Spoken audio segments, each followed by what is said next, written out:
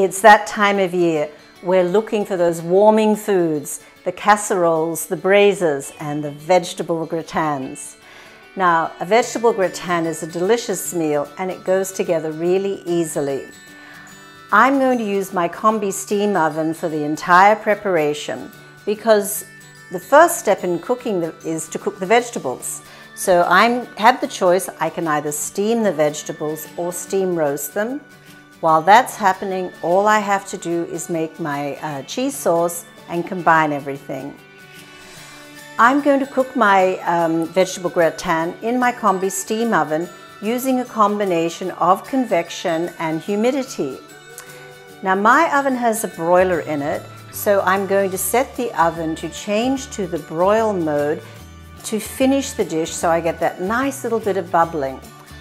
Check out the tools on your oven and see if you can use those tools to get the perfect finish for the dish that you're preparing. But always pay attention when you're using the broil mode because it is quite powerful and that sauce is quite delicate.